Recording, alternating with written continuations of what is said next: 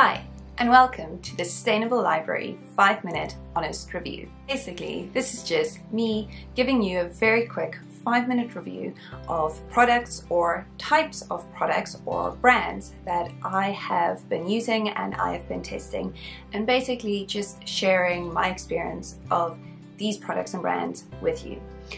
Full disclaimer, None of these products are sponsored or gifted to me. They're all products that I have bought myself and if I'm recommending it, it's because they worked for me. Also, some of these products will be UK based products and others will be South African products. I will say that at the beginning of each of my reviews and also I will add a little bit of information in the description for you to go and have a look at if you want to know more about these products.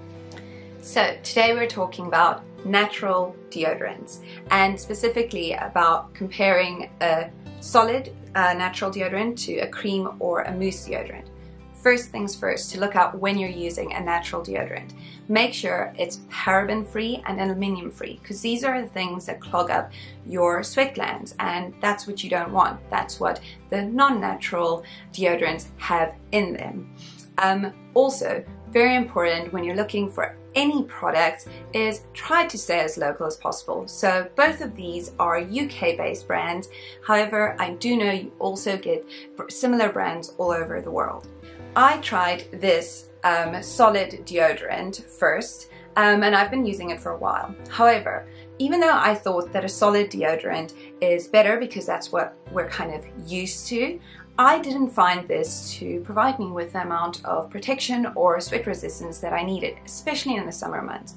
I'm quite an active person, so it just didn't work for me. However, I tried this um, cream or mousse deodorant in the heat of summer in South Africa, uh, high 30 degrees Celsius, and it worked amazing. It smells amazing, you only use a little bit, and it's really good for sensitive skin. So basically, it's this is what it looks like in terms of a cream, and you just take a little bit and add it to your underarms.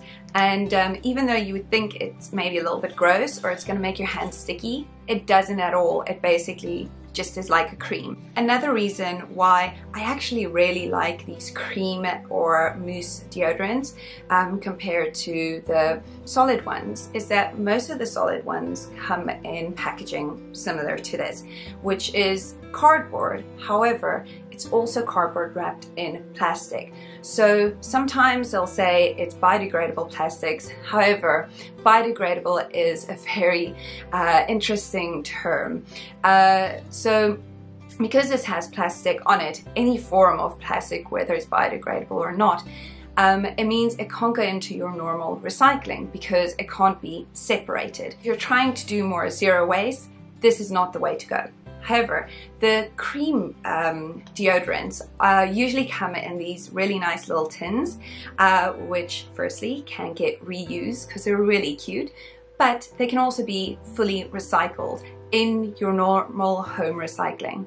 So just another reason why I think comparing these two I would go for the cream deodorant. My final verdict is if you're looking for a deodorant that really works in warm temperatures, is good for sensitive skin, and that lets you um, live a more zero waste, packaging free kind of life, I would 100% go for a cream uh, deodorant like this one.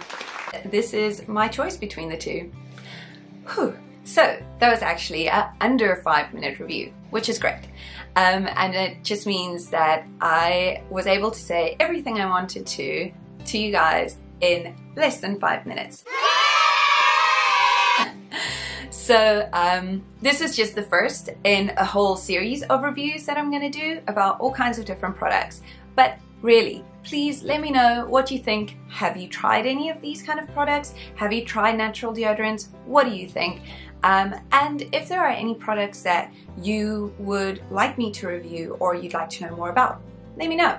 I am very open to trying all kinds of new products and brands and seeing what's out there in the world of sustainability, eco-friendly and natural brands and products.